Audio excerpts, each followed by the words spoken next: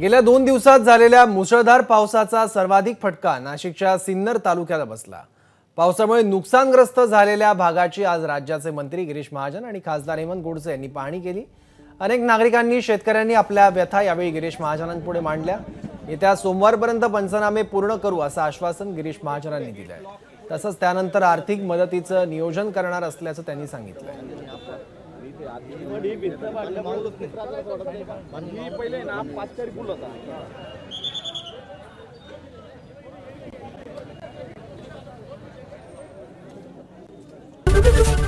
ABP माझा उघडा डोळे बघा नीट